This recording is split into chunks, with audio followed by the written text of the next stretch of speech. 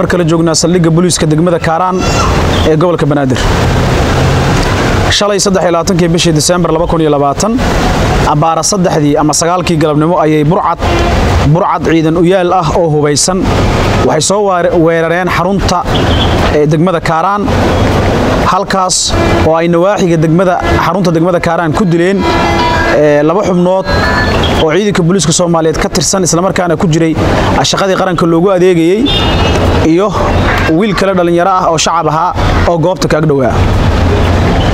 Burcaddaas waxay dil u geysteen ekis dable booliis ciise xasan cismaan iyo dable booliis caamir cabdulaahi xiirey oo ku jira howlmaalmeedkii ummadda loogu adeegayey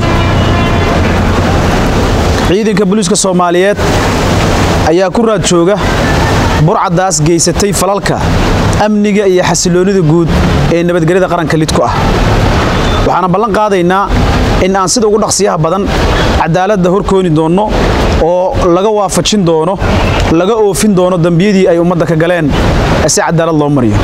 Waa mahadsantihiin asalaamu calaykum waraxmatullahi wabarakaatu afhayeen arrintan waxaa la sheegayaa inay la xiriirto dhul isku haysto oo degmada kaaraan oo saraakiil dowladda soomaaliya ka tirsan ay isku haystaan ay la xiriirtaa iskormaadkii shalay degmada kaaraan ka dhacay arrimahaasi maxaa ka jira annaga ma hayno dilka ciidanka booliiska soomaaliyeed.